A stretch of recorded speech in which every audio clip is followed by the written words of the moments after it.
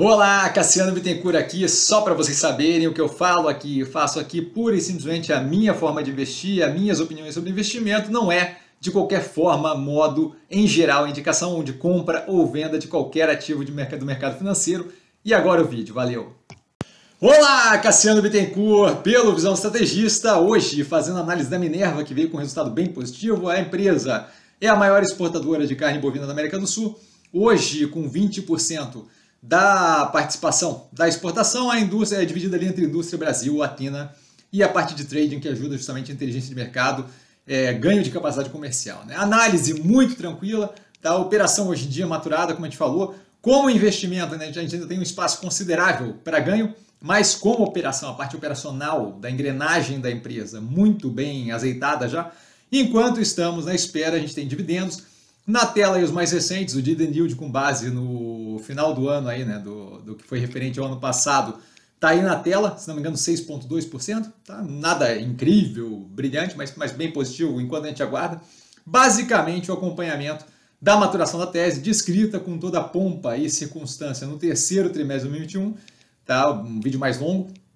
Resultado, como dito, muito positivo, recorde em faturamento e EBITDA dos últimos 12 meses, tá? Hoje com uma operação que entrega lucratividade consistentemente. Eu gosto da consistência, que me dá uma clareza de para onde estamos indo. Inúmeros vídeos para entender como chegamos aqui, aqui embaixo na descrição. Tá? A gente sempre tem toda a análise, os vídeos aí para compreensão melhor do andamento e da consistência das análises, da consistência do resultado entregado e por aí, entregue e por aí vai. Tá? Isso dito, a gente passa diretamente para um due diligence. Acho que eu tô extasiado aqui, que, a, que agora a análise está bem tranquila. Tá? O market share de exportações e o posicionamento geo, é, geográfico na tela, tá? a abertura da receita bruta e exportações consolidadas na sequência, a Ásia ainda muito relevante com aumento recente da diversificação, especialmente ali com as 10 plantas que eles têm habilitadas é, como um todo, né? para os Estados Unidos, que tem sido uma demanda forte, a gente tem uma retomada da demanda chinesa, o cenário do ciclo do gado está bem positivo para a gente, tá? a abertura da receita bruta por origem do produto, para dar uma noção da relevância de cada localização geográfica que a gente tem na empresa. Tá? E aí a gente passa justamente para operação financeira, receita líquida com crescimento robusto e contínuo em 24,6% year on year versus o mesmo período no passado, recorde, os últimos 12 meses.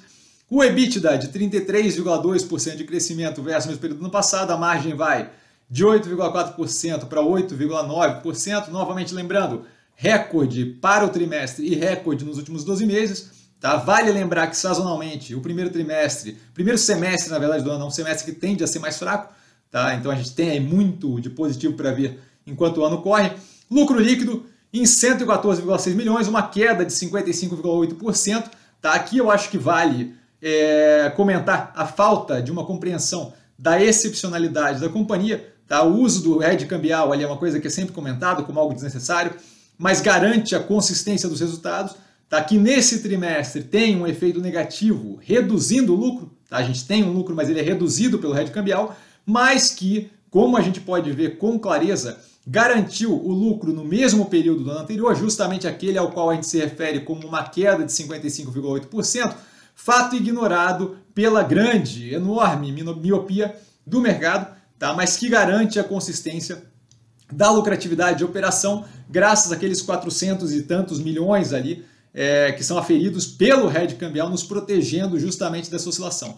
Tá? Então, independente de intempérie cambial, a operação rende. E essa é a parte positiva. Eu não quero uma operação que seja jogada para lá e para cá com base é, em, em arrobo cambial qualquer. Tá? A alavancagem em 2,5 vezes, eles sempre muito é, controlados nesse quesito. Né? 2,5 vezes é justamente aquele que permite ali, uma geração de valor através de um dividendo maior para os acionistas, com redução forte do carregamento do caixa, que é algo que é um comprometimento deles do terceiro trimestre de 2021. Tá? A gente tem ali o caixa em 5,3 bi, estava em 7,3 bi no quarto trimestre de 2021 e no terceiro trimestre em 7,9 bi, então vem sendo feita uma redução consistente, tá? comentado no terceiro trimestre de 2021, mais do que isso, eles têm feito ali uma busca ativa por é, momentos que eles conseguem ali precificação melhor nos, nos, nos nas dívidas para justamente recompra e eliminação de endividamento, né, através de liability management, é substituição algumas vezes por dívida mais barata ou simplesmente é queima com o caixa, tá?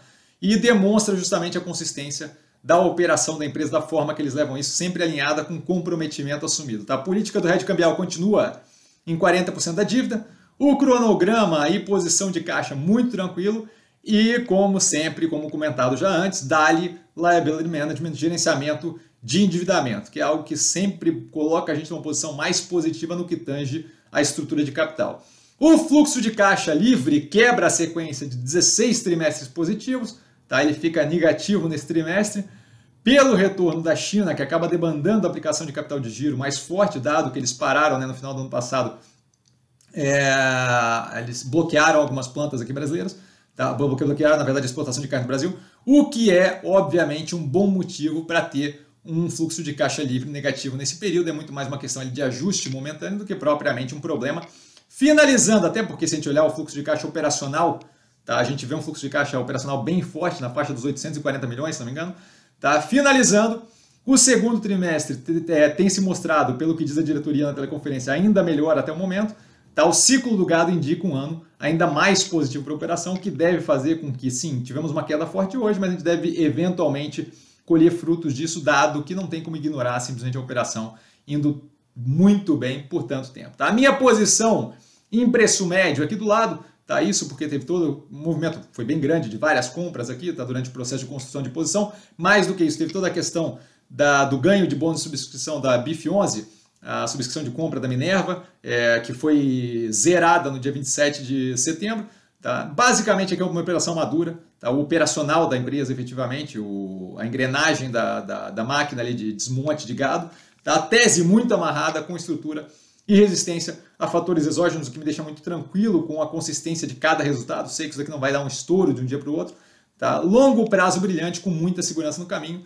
E dúvida, eu tô sempre no Instagram, arroba investir com sim. Só ir lá falar comigo, não trago a pessoa amada, mas sempre lá tirando dúvida. Vale lembrar, quem aprende a pensar bolsa opera como mero detalhe. E a gente segue com mais análises, uma bateria violenta essa semana é, de resultados aí vinculados ao portfólio. Valeu, galera. Um grande beijo. A gente continua.